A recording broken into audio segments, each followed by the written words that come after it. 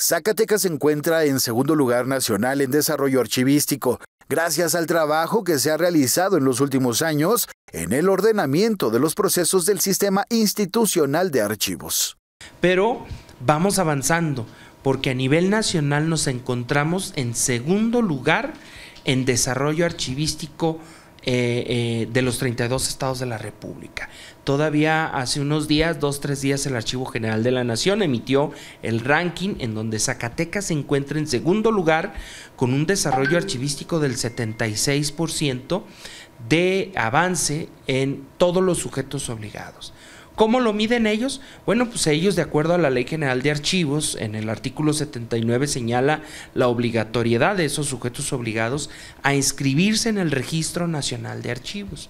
De ahí ellos hacen una serie de preguntas y en donde se inscriben eh, eh, eh, todos los sujetos obligados y en base a ese cuestionario, en, ese diagnóstico, ellos emiten un dictamen de desarrollo archivístico por cada sujeto obligado. Hay que recordar que el desarrollo que impulsa el Sistema Estatal de Archivos, actualmente dirigido por Jorge Orestes García Valdés, tiene como principal función organizar los archivos y rendir cuentas de manera correcta, así como transparentar el ejercicio del recurso y acciones por parte de los sujetos obligados. De esta manera, la entidad zacatecana ha sobresalido a nivel nacional siendo superada solo por Guanajuato.